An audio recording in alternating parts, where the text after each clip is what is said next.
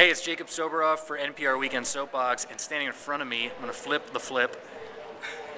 Zadi Diaz, Steve Woolf, the team behind Epic Fu. Guys, so what is up? Uh, well, I mean, South by Southwest is up. Obviously, this is kind of the biggest conference party of the year. All the social media, web, and tech heads are here, and tons of people from the online video world. It's, it's awesome. Yeah, it's pretty awesome. It's like the mecca of geekdom. Everybody kind of converges here and just like shares all this information. And then this weekend, we're actually helping out with um, PBS. Um, we're working with them. Uh, we're working with PBS Engage, and we're interviewing a lot of really cool people, um, and just you know talking about online social media.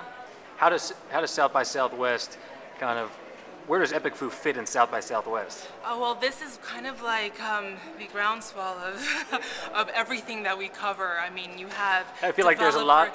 Yeah, you have developers. You have. I mean, especially because it's like interactive, it's film, it's music. So all that stuff we cover, and especially how it relates to the online world. So we're just getting to meet a lot of really, really cool people, and just like figuring out the projects that they're working on, and and just like highlighting that stuff and talking about it with them, and giving gives us ideas also.